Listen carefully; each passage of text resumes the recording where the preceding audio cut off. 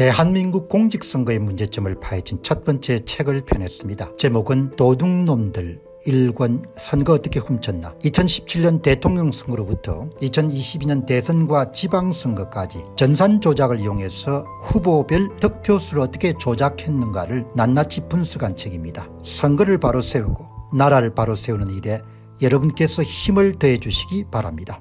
그래도 이제 현직 당대표인 이재명 씨 같은 경우는 현직이기 때문에 좀 우리 있지 않습니까 예, 우리 있고 그다음에 또 이재명 씨 주변에는 또 열렬한 그런 지지층인 개딸 그룹들도 있고 하니까 어느 정도 좀 위안이 될 수 있죠.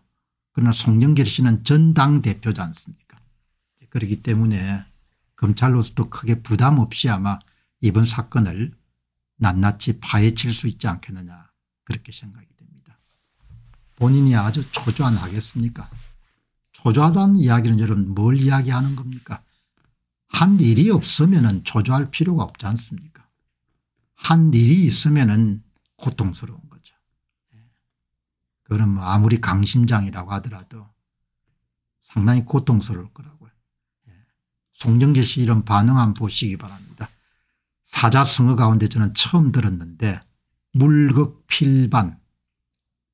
물극필반 방송 들으시는 분들도 사자성어 가운데서 물극필반은 아마 처음 들어보셨을 겁니다. 제가 작은 제목으로 송영길 씨가 사건을 보면서 내 머릿속에 떠오른 것은 사필귀정 모든 일은 예, 오른쪽으로 그냥 돌아간다 이야기죠.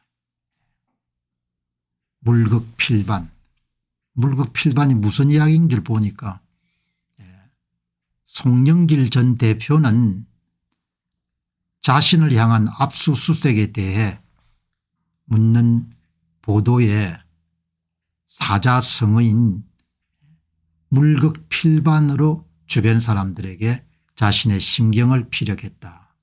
그 물극필반이 뭔가 이런 보니까 물극필반 모든 것은 극에 달하면 반드시 돌아온다.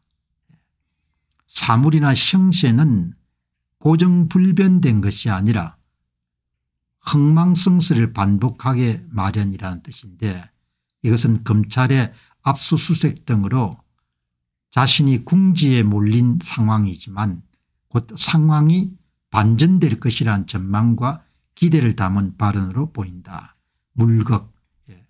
어떤 사건이나 현상이 한쪽의 극단적인 상황 절정에 이르게 되면 반드시 돌아온다 이런 거니까 예.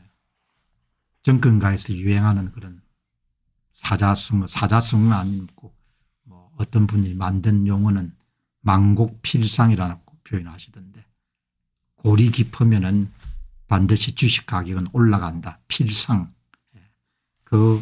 그는 사자성어를 떠올리게 하네요 물극필반 곤혹스러울 겁니다. 뭐 지금 상황은 송영길 전 당대표는 물극필반이라고 하지만 여러분은 뭐가 떠오르십니까 여러분들은 저는 뭐 이런 게 떠올랐습니다. 예. 사필귀정 모든 일은 반드시 바른대로 돌아간다.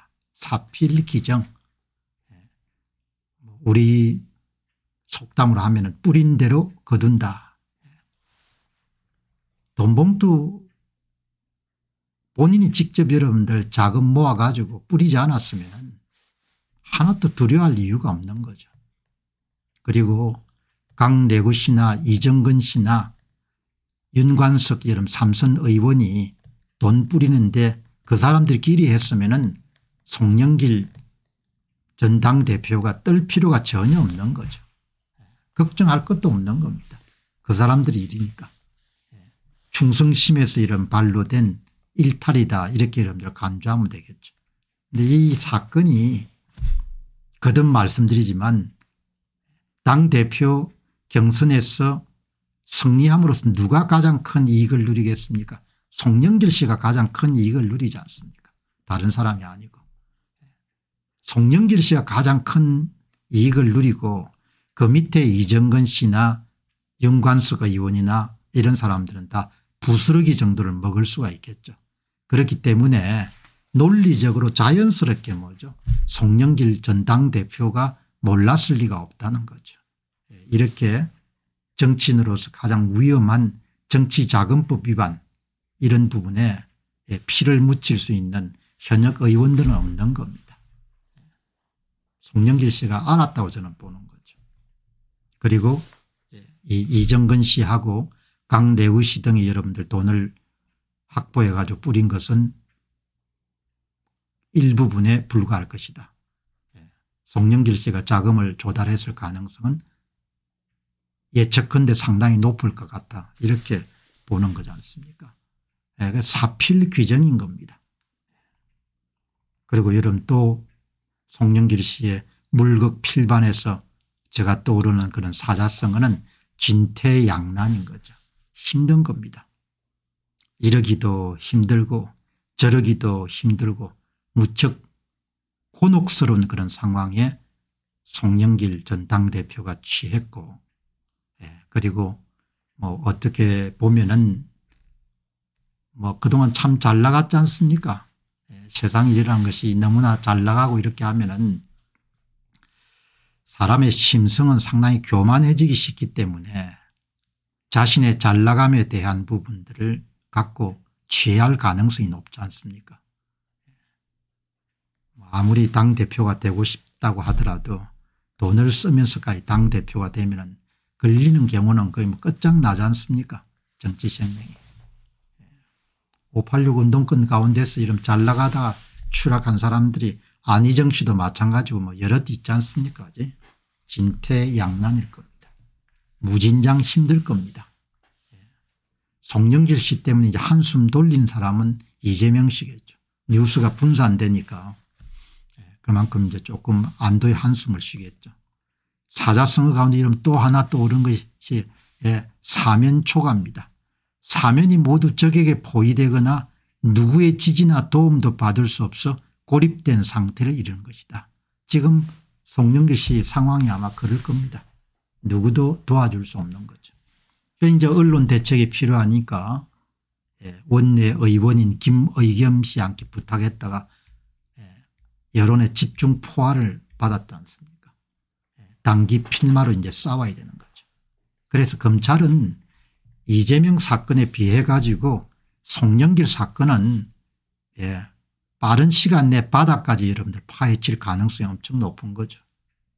예, 그리고 뭐 송영길 씨 사건을 파헤증은 비교적 구조가 간단하지 않습니까 사업가 박의식 씨가 남긴 녹취록도 있고 이정근 씨는 너무나 상세하고 알뜰하게 녹취록을 남겼고 또 뭐 지금 이야기되다시피 이정근 씨가 노트까지 여러분들 만일 사실로 확인되게 되면 그럼 뭐 빠져나갈 가능성이 없는 거죠.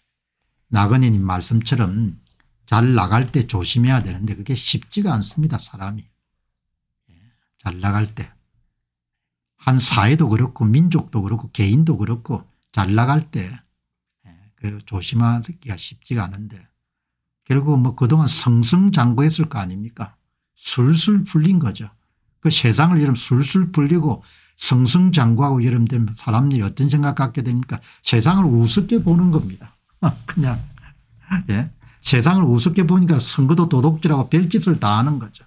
사실 뭐 이런 거 여러분들 별 것도 아니지 않습니까 선거 도둑질에 비하면 아무것도 아닌 거죠. 뭐. 예.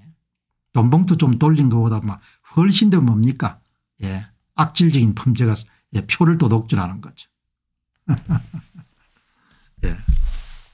예. 어떻든 간에 예. 검찰로서는 뭐 아주 편안하게 일을 할 수 있게 됐습니다. 민주당 소속도 아니고 전직이고 예. 국민들은 뭐 열화같이 있죠. 예. 송영길가 다 알고 있었을 것이다. 이렇게 생각하니까 뭐 화끈하게 여러분들 파헤쳐야 되는 거죠. 반대로 이제 이재명 씨가 좀 덕을 보게 됐네.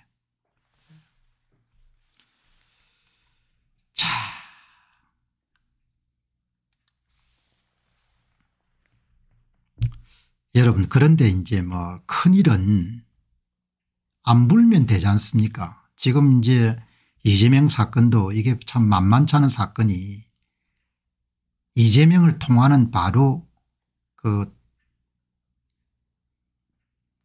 가장 근접한 문을 김만배, 김인섭, 정진상, 김용 이런 양반들이 딱 그냥 지키고 있지 않습니까 이화영.